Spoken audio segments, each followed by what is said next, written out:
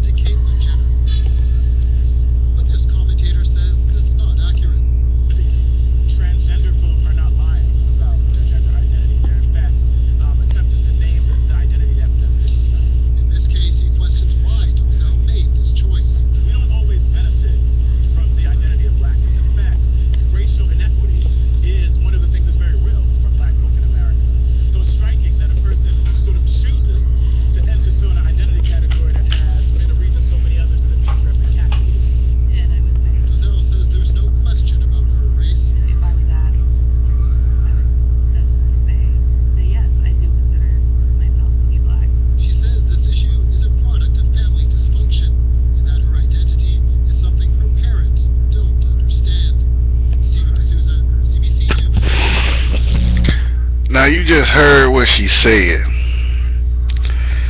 and to me, I think it's bullshit that she that some people trying to compare it to the whole Bruce Jenner and Caitlyn Jenner.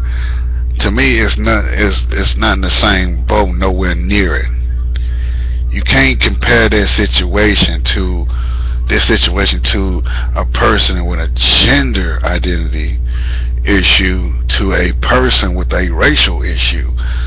Now I can walk around and say I am black because I am mixed. My mother is white, my father is black, but I'm not going to sit there and pull this same stunt and say, hey, I'm a Mexican. My daddy black my mama white, I'm a Mexican. I can't do that. To me, that is bullshit. To trying to tell the world that you black knowing that you got white parents. These are her parents. You cannot sit up and say, my father is black and your daddy is white as snow. How you gonna sit there and say, I consider myself black? Look, man, just because you marry a black man doesn't make you black. See, this is what I've been talking. This is what I've been talking about since day one with this shit. I did a video. I did a video about this, about how black uh what was it? Black folks are, uh versus niggas. Black folks versus niggas. And when you walk around as a black person you somebody because you don't sit there and give into stereotype. But when you walk around as a nigga you get white folks trying to give into that tempt uh, trying to take that culture into being a nigga now she took down the picture off her Facebook page, but to me it's like this.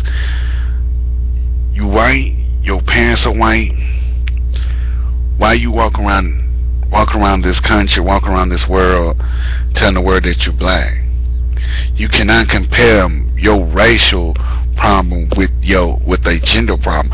A gender problem is where people know they're different that they was born in the wrong body. You cannot compare, yo, oh, I'm black, but my parents are white. My mom and dad are white. You can't compare that to, uh, I'm a man, but I feel like I'm a woman trapped in a man's body. I mean, yeah, you can't compare that. People who suffer through transgender problems, they get that stuff fixed where they can feel comfortable in their own body.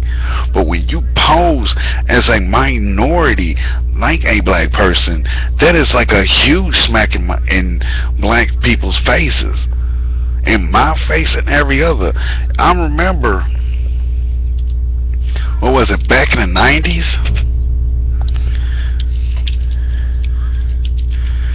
What was it? Uh, Ted Danson, uh, was dating uh, Whoopi Goldberg, and he wore blackface. He wore blackface and called a lot of hell for it. And that was back in the 90s.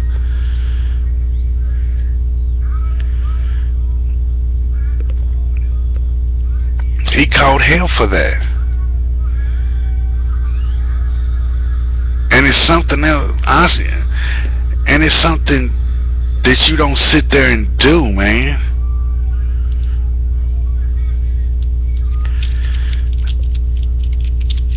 That's something you don't do. That's something you don't do. You don't walk around saying that you you black and you white as snow.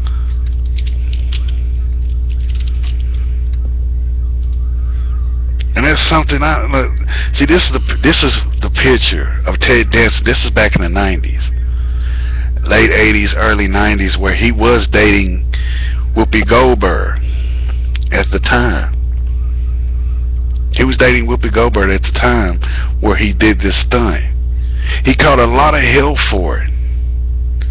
For a white man that ended up on a hit show called Cheers and was doing CSI did a movie with Macaulay Culkin getting even with dad, did a show called Becker. This man caught a lot of hell for pulling that blackface stuff. He put he he got a lot of heat for it. How come this man can no I'm comparing this. How can this man catch more catch a whole bunch of hell for blackfacing himself, but this woman don't catch enough hell for doing the same damn thing. Just because you perm your hair and lay out in the sun and get a damn tan doesn't consider yourself a black person. To me, in in in my eyes, in my eyes, it's like this. If you can get to my eyes, if I if if, if I was every other if I was every black person in the world I'm gonna, I'm, gonna, I'm gonna say this before I finish the statement. If you can get mad at something like this, a white man going blackface, for a white man to go blackface, why can't you get mad at this woman for pulling the same damn stunt, perming her hair and getting a little tan? Getting a tan. Posing as, oh, I feel black. You cannot sit there and say, I have a racial problem. I need to get that fixed. You can't do that. I remember what was it? People got mad. People got mad when he did Trump, when Robert Downey Jr. did Tropical Thunder, and he did that blackface. People did get mad about it. They, some people thought it was funny because it was a white actor playing a white actor who thought he, that played a black actor.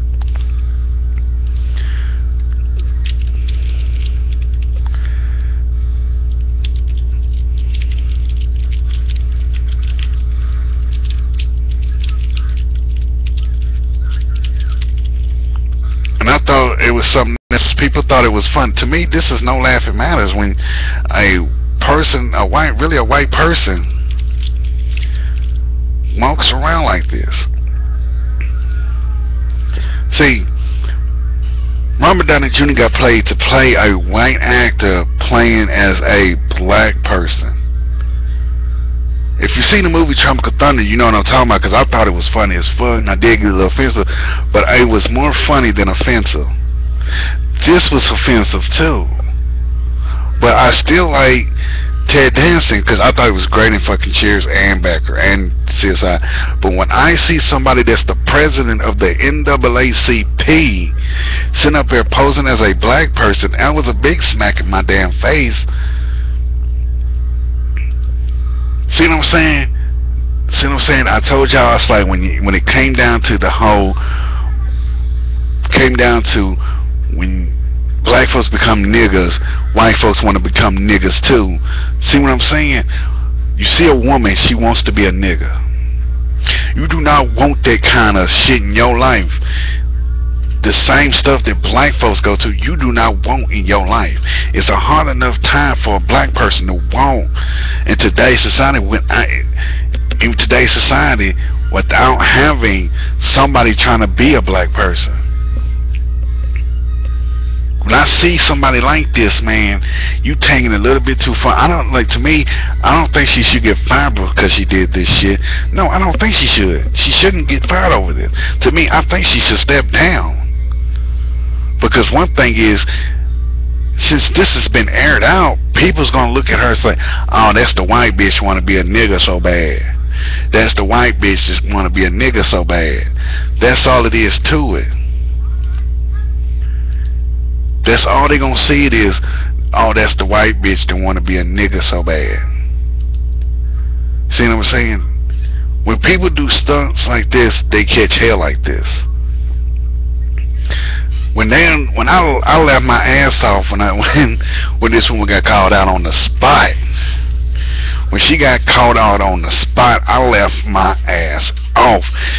To me, like I said, man, you can't walk around thinking that you're one, um, having a minority issue, having a race issue, because a black person can't say I'm walking around, I'm a white man, I'm a white man trapped in a black man's body. You can't. There's no way to fix that unless your ass got a that sort of vitiligo.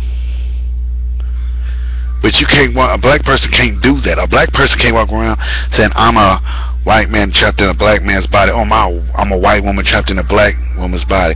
They can't do that. There's no way to reverse that problem. There's no way to wipe out to get rid of that color.